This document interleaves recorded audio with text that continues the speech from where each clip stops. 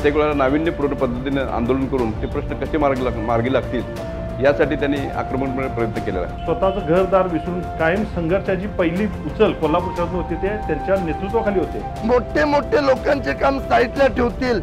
साहेब गरीब लोकांचे काम अधोवर घेतील. सर्वसामान्यांच्या तळागाळापर्यंतच्या लोकांच्यापर्यंत आपलं कार्य नेण्याचं त्यांनी काम केलं.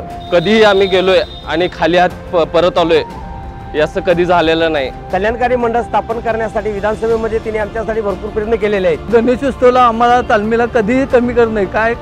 काय मागेल ते देतात. त्याने असा काय दहा वर्षामध्ये कामाचा सपाटा चालू केलाय. आणि त्यांनी वाघासारखं काम करून कोल्हापुरात दिलेलं आहे. आणि काय त्याच्याबद्दल किती बोलायचं? साहेबाची माझी चांगली ओळख आहे.